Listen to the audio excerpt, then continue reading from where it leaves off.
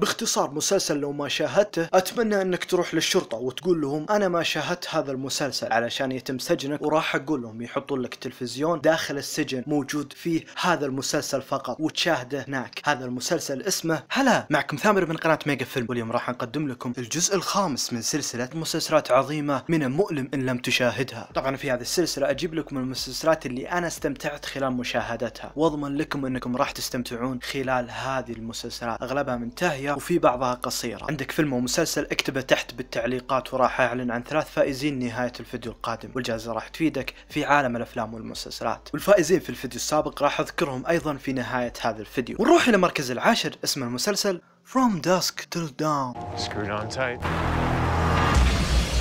We were supposed to be low profile. You're the one with the trigger finger that's got the entire state of Texas looking for us. المسلسل هذا ماخوذ عن فيلم رعب بنفس الاسم ولكن ما تحتاج إنك تشاهد الفيلم لأنك راح تعرف كل شيء من بداية المسلسل. المسلسل ممتع من كل النواحي وخلط بين الرعب والأكشن. المسلسل يتكلم عن أخوين يسرقون البنوك بسبب الثار فقط ولكن هذا الشيء راح يجعل حياتهم جحيم. فترى ما هو السبب؟ من المسلسلات اللي ما حبيت أدخل في أحداثها علشان الحرق. مسلسل ممتع ويستحق وقتك بالتأكيد. ونروح المركز التاسع اسم المسلسل Lethal Weapon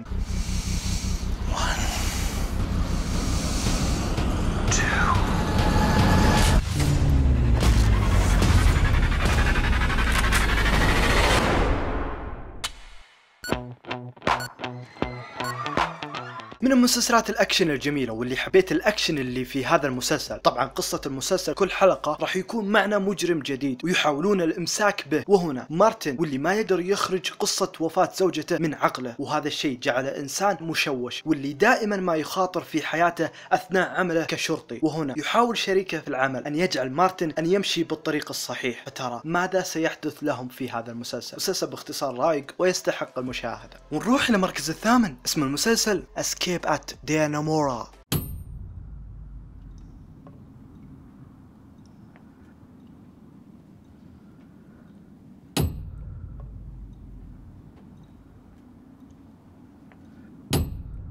مسلسل قصير والآن أتوقع أني أشاهد المسلسلات القصيرة بكثرة علشان حبكة القصة بطريقة جميلة ومختصرة. المسلسل هذا يتكلم عن قصة حقيقية وهنا اثنين من السجناء يحاولون الهروب من السجن ولكن الغريب من اللي راح يساعد هؤلاء المساجين وليش تريد أن تساعدهم؟ فهل سينجحون بالهروب أم لا؟ مسلسل جميل ويستحق وقتك بالتأكيد. ونروح إلى المركز السابع اسم المسلسل كاتش 22 It's all a numbers game. And when your number's up, your number's up. من المسلسلات المظلومة واللي تستحق وقتك. المسلسل هذا مسلسل قصير. قصته رهيبة. وهو مسلسل منتهي. واللي يعشق في المسلسلات القصيرة لأنها تكون مختصرة وتعيش القصة بحبكة بطلة من المسلسل. وأيضا يتكلم عن قصة حقيقية. باختصار يوجد شخص اسمه جون يوساريان أثناء الحرب العالمية الثانية واللي يحاول الهروب من الحرب والنجاة. ولكن في كل مرة يقولون له هذه آخر عملية لك فترى ما سر هذا الإنسان وليش يريد الهروب؟ وهو اللي اختار هذا الشيء. مسلسل مظلوم جدا ويستحق وقتك بالتأكيد. ونروح إلى المركز السادس اسم المسلسل Sharp Objects.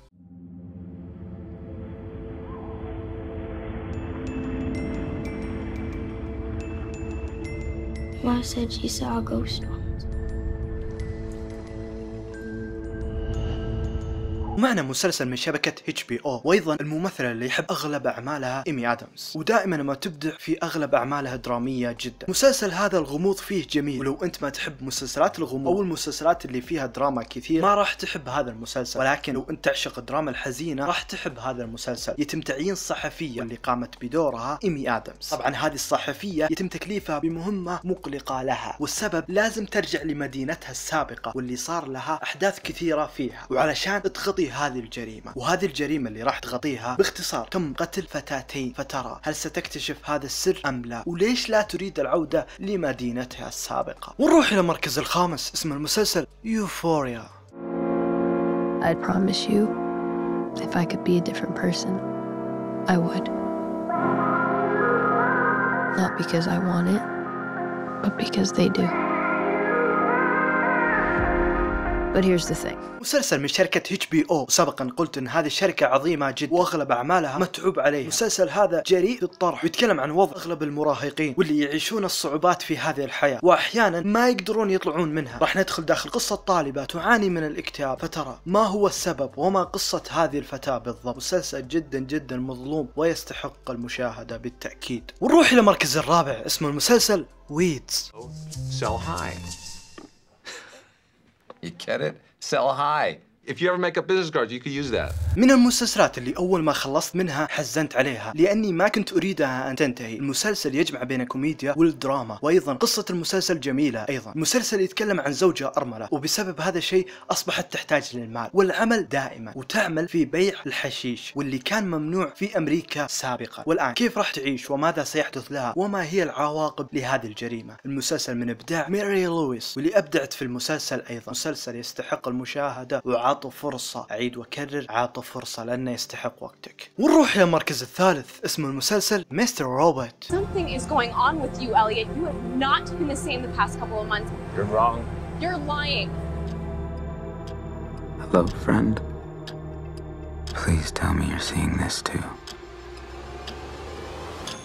من المسلسلات المعروفة واللي تستحق وقت وأنا حطيته في هذه القائمة لأنه هو الآن يعتبر مسلسل منتهي. تقدر تشاهده وأنت متأكد ما راح يكون في أي موسم جديد. المسلسل يعتبر تحفة في عالم المسلسلات ولو قعدت أتكلم عنه طوال الحلقة ما راح أوفي حقه. خاصة بعد ما انتهيت منه وعرفت حبكة القصة البطلة. مسلسل يتكلم عن شاب يعاني من الاكتئاب وأيضا يعاني من الوحدة وهذا الإنسان مبدع في عالم الحاسب يعمل كمبرمج في الصباح وفي الليل يصبح هاكر. ولكن الأمر لا يتوقف هنا فترى ماذا سيحدث مع هذا الانسان الغريب وما قصته بالضبط ونروح إلى المركز الثاني اسم المسلسل شيملس Nobody's saying our neighborhood's a Garden of Eden, but it's been a good home to me and my kids, who I'm proud of, because every single one of them reminds me a little bit of me. من المسلسلات العظيمة واللي تستحق المشاهدة. مسلسل مسلي ويخلط أحيانا بين الدراما والكوميديا والإثارة. راح تدخلون قصة عائلتين في هذا المسلسل. كل شخصية في هذا المسلسل لا تقل إبداع عن الثانية. ويتكلم عن عائلة كل فرد فيها يعاني من مشكلة. على سبيل المثال الأب اللي المفروض يكون هو العقل في هذه العائلة هو أسوأهم ودائما ما يكون مدمن على الخمور ولكن فيونا البنت الأكبر في هذه العائلة تحاول أن تخلي هذه العائلة أن تمشي على طريق الصحيح. ولكن ماذا لو كان كل فرد في هذه العائلة لا يملون من الأخطاء مسلسل باختصار ممتع ويعتبر من أفضل المسلسلات المستمرة إلى الآن ونجي إلى المركز الأول أفضل مسلسل في هذه القائمة اسم المسلسل Lost We must have been at about 40,000 feet when it happened. In an air pocket. من أكثر المسلسلات الأسطورية واللي تستحق المشاهدة والجميل في هذا المسلسل لو خلصت من فترة طويلة ورجعت تشاهده الآن راح تعيش الإبداع من جديد. المسلسل هذا هو ثاني مسلسل خلاني أبكي والسبب أني كنت أشاهده يوميا وما أشاهد أي شيء ثاني. وبعد انتهائه بكيت بحزن بسبب أحداث كانت بالمسلسل وهذا الشيء قد لا يمر مع بعض الناس. والسبب أنك ما تعيش قصة المسلسل صح. المسلسل قصته أسطورية. ويتكلم يتكلم عن مجموعة من الناجين. نجوا من تحطم طائرة كبيرة. ولكن المشكلة ليست هنا. المشكلة أنهم وجدوا أنفسهم في جزيرة غريبة جدا. والآن ماذا سيحدث معهم؟ راح نعيش داخل قصة أغلب الشخصيات في المسلسل بطريقة عظيمة جدا. والآن بقى معنا الفايزين في المسابقة. طبعا هذه الثلاثة أفلام اللي فازت وهذه أسماء المتسابقين. لو ما حالفك الحظ حاول تجد فيلم مشهور وبنفس الوقت يكون بطل. كان معكم ثامر من قناة ميجا فيلم لا تنسون اشتراك بالقناة وال like والنشر إلى اللقاء.